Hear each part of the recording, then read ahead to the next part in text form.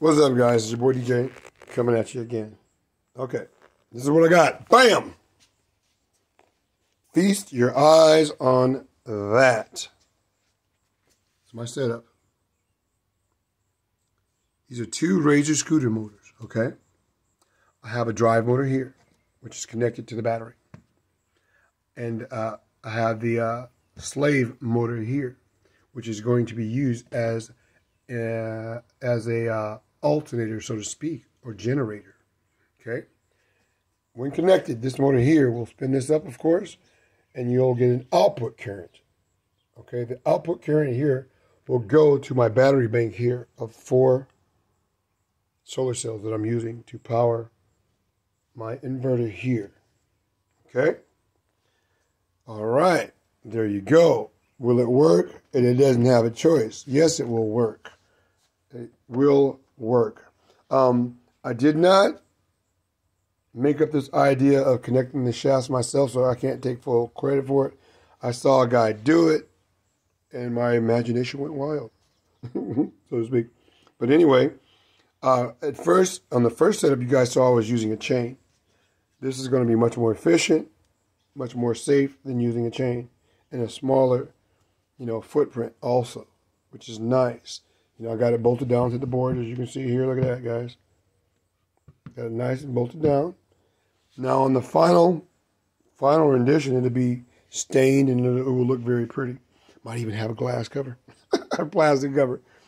But this is what I got going on so far. Um, again, so what I did was I spun it up, connected the positive and negative. Of course, it spun up. It's very efficient. I went to check the amperage to see how much power was coming, how many amps were coming out and it overloaded this multimeter. What does that mean? That means it's putting out sufficient power. Because uh, yesterday I measured uh, spinning up the motor with a drill, and it, it, you know, at a slow rotation, it came up with like uh, I was able to achieve like 3.3 amps with a variable drill. Okay, so that let me know right there that it will work. So this is free energy. Okay, how is it free energy? It's free energy because the drive motor here is going to turn the slave motor here, motor B, which is going to be the alternator or generator. Okay, output current here goes to the battery. So I'm just all I'm doing is making a simple loop. You know, motor A will be powered. Now let me back up for a second. I'm going to have a motor controller, which I already ordered two of them. They're coming in. One's supposed to come in tomorrow. One's supposed to come in Wednesday. Well, so it'll be like this. Motor controller will be connected to the power source. Okay. The motor will be connected to the motor controller. So I'll have total control over the speed of this drive motor here. Okay. So the thing is uh, just simply to feed power back into the battery. Now again, the battery maintainer here only puts out 3 amps and is able to sustain my setup on a cloudy day. I've only used this uh, a, uh, uh, battery maintainer here one day out of seven days due to the, you know, it was cloudy earlier this week. I only had to use it one time, which I got up in the morning, saw the battery level was low on my solar controller, connected the battery maintainer, got off work later on that night, and I took it off, and it was fine ever since for seven days. Okay? So what's nice is with the motor controller, I'll be able to be able to control to totally control how many amps are being put back into the battery to maintain it. Okay, it won't, it, won't it will not have to be a high rotation because I did a test with it with the drill it was very low rotation, which means low heat, which means safety. You know, these motors won't have to run at a high level to maintain these uh my my, my solar bank. Okay, now let me check it out. Let you guys check it out. To see how it uh, rotates, how efficient it sounds.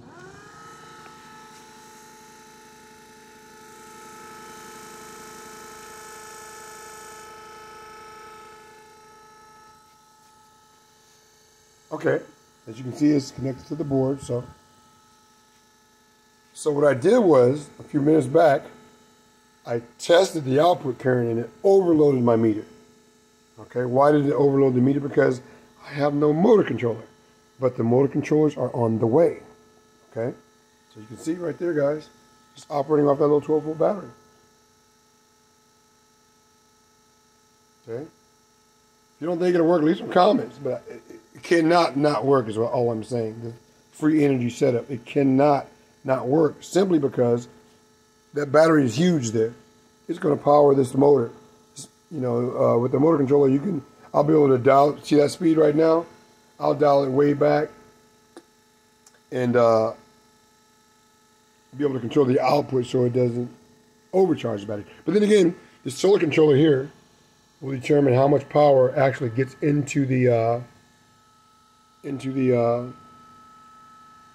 the the batteries too. Because what what happens is it will not let this overload the batteries, which is kind of nice. So that keeps a little safety there. But there you go, guys. See that it works. Again, I'll have it dialed down to where it's only pushing in like two and a half to three amps into the battery. Therefore, it will not take too much power out of the battery because it is going to be, you know, I have to have my drive motor being powered off of that. And that'll be my loop. And that should be free energy. Free energy by me, by, what I mean by that is to maintain the battery. That in my solar uh, panels on top of the roof. You can see, I got it coming through the roof there of the garage. And there you go. All right, guys. I'm excited. I'll be real excited to get the motor controller in hopefully tomorrow or, or by Wednesday. I got two of them ordered and get this going. So, uh, you know, I can get through my first week of operation, which will be a beautiful thing. And what's cool is uh, using these motors, it's very low. The heat will be very low that will be produced by these motors which will be very interesting. You know? Because that keeps everything safe. Because these motors will not have to. Right now, they're balls all out right now. You know, I don't have any control over the speed. But with the motor controller, I'll be able to dial it way down. They'll run super cool. No danger of burning up or house fire or anything like that. All right, guys. I think I explained myself pretty good in that. Later.